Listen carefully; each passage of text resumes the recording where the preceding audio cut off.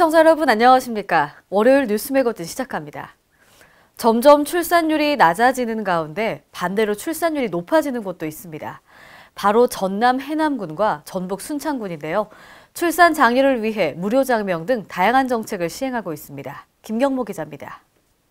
전국적으로 출산율이 제자리 걸음을 하는 와중에도 전남 해남군과 전북 순창군이 다른 지자체보다 월등히 높은 출산율을 보이고 있습니다. 전남 해남군은 2008년 전국 최초로 출산 정책팀을 신설한 데 이어 전남 지역에서는 처음으로 2015년 공공산후조리원을 열었습니다. 여기에 지난달 개원한 분만 산부인과를 연계해 임신, 출산, 산후조리 등 출산 정책 원스톱 의료 서비스 체계를 구축하고 있습니다.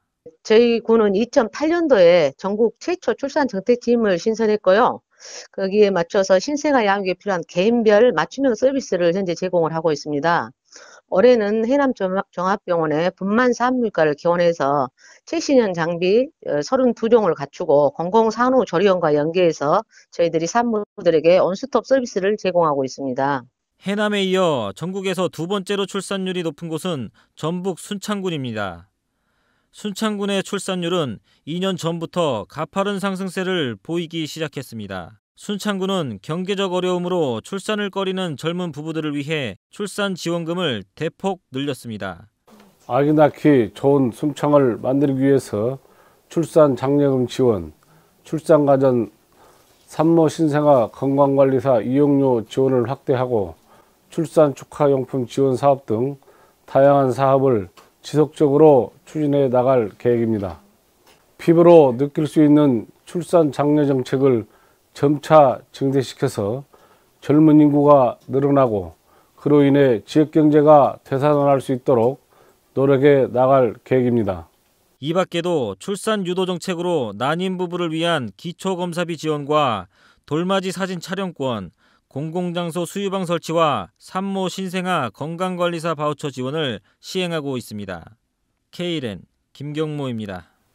전북 남원시가 교통사고 다발 지역이나 차량 통행이 원활하지 않은 곳을 대상으로 회전 교차로 등을 설치합니다.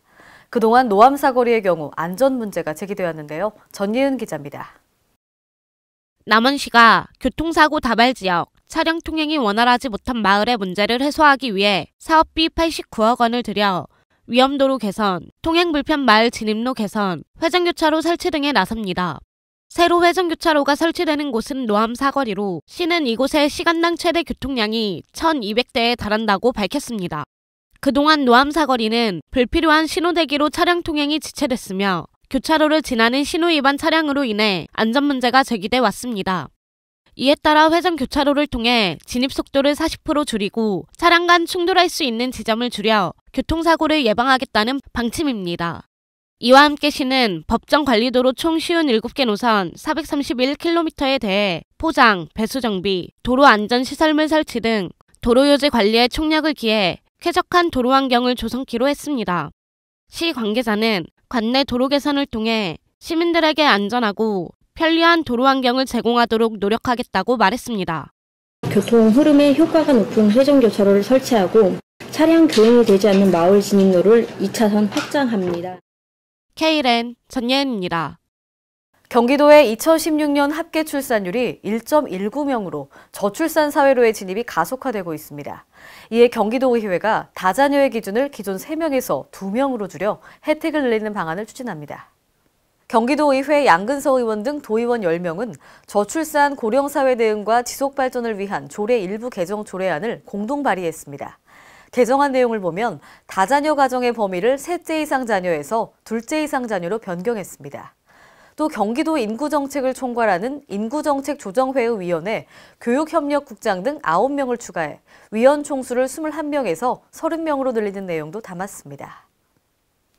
전북 익산시의 연간 자전거 수요는 약 36만 대로 시내권에 집중돼 있습니다.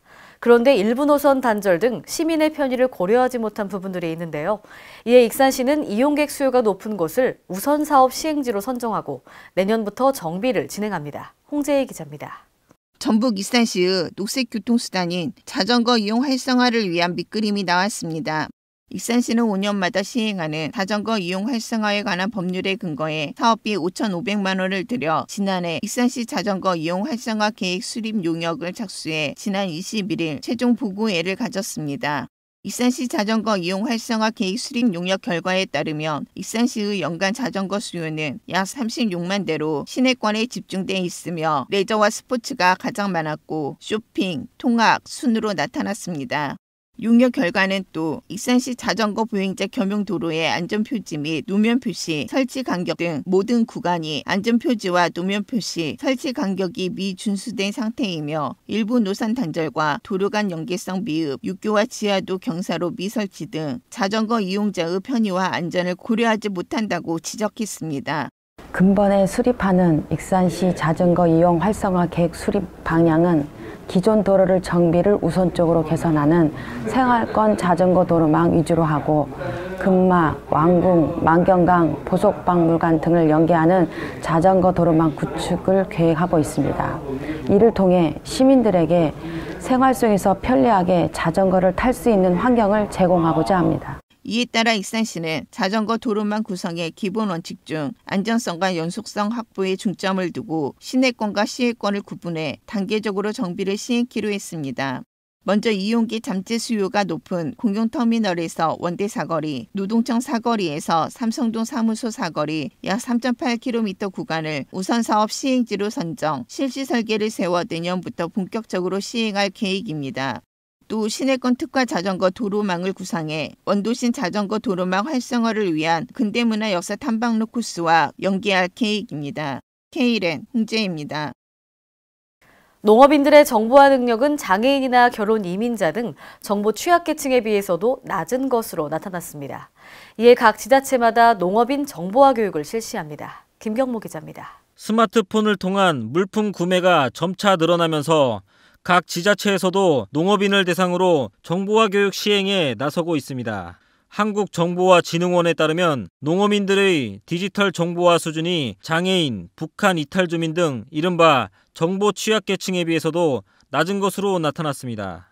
이에 따라 각 지방에서는 저마다 다양한 정보화 교육을 실시하고 있습니다. 전북 임실구는 이달부터 오는 5월 23일까지 농산물 전자상거래를 희망하는 농업인들을 대상으로 이 비즈니스 활성화 교육을 실시합니다.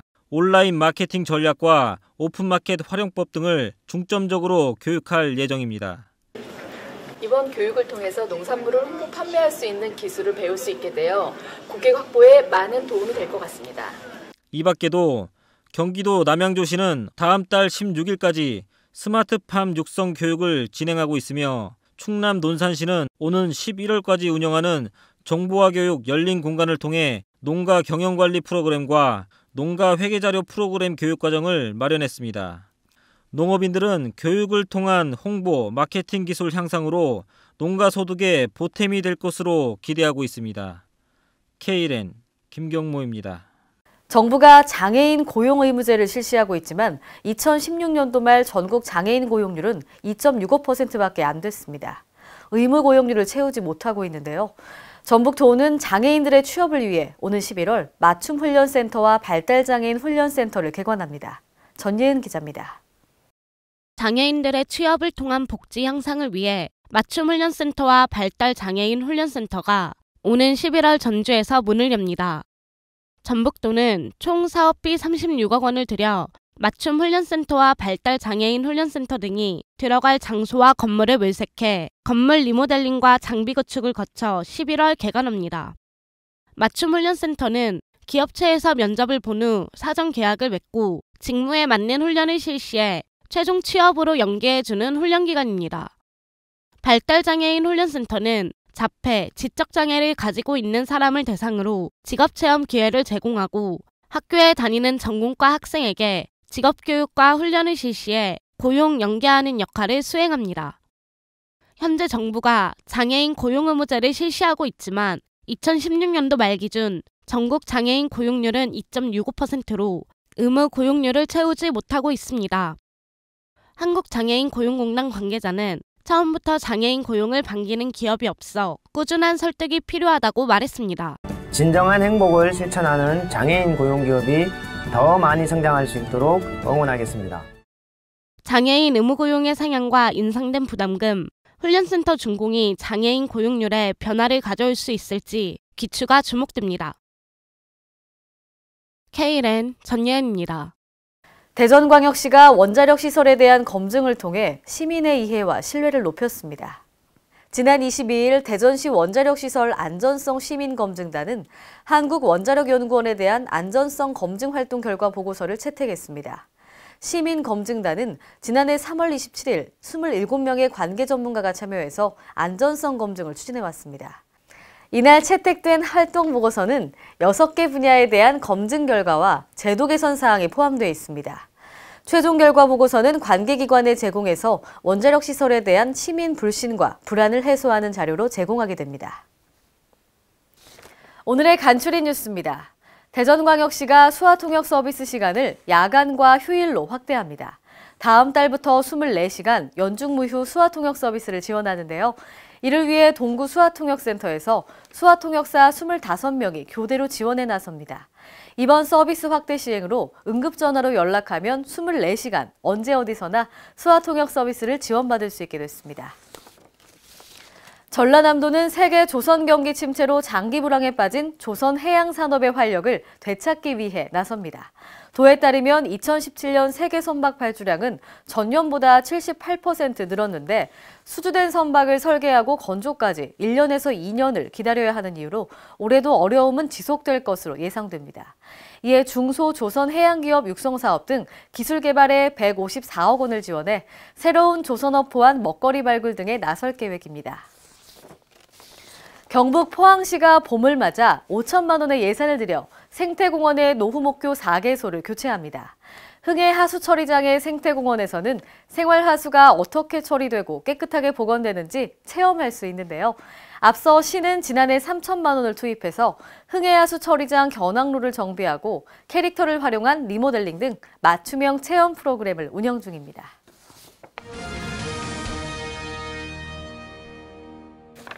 오늘의 단신입니다. 행정안전부는 유선 및 도선 현장 안전관리 강화를 위해 국민이 직접 참여하는 유도선 국민안전 현장 관찰단을 모집해서 4월부터 운영합니다. 현장 관찰단의 주요 임무는 현장 관찰, 또 유도선 안전혁신 TF 참여나 위험 요소 제보 등인데요. 관찰 단원은 전국 5개 권역별로 연령이나 성별, 직업 등을 고려해서 모집하되 선박 안전에 관심이 많고 수시로 선박을 이용하는 지원자를 우선적으로 선정할 예정입니다. 영미! 영미! 컬링 등 대한민국의 위상을 보여줬던 2018 평창 동계올림픽이 지난 25일 성황리에 폐막됐습니다. 지난 9일부터 시작된 17일간의 여정을 모두 마감했는데요.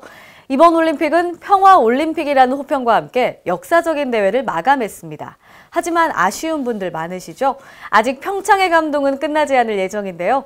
올림픽의 감동을 2018 평창 패럴림픽에서 이어갑니다. 다음 달 9일부터 시작해 18일에 폐막합니다. 이상으로 뉴스 매거진을 마칩니다. 시청해주신 여러분 고맙습니다.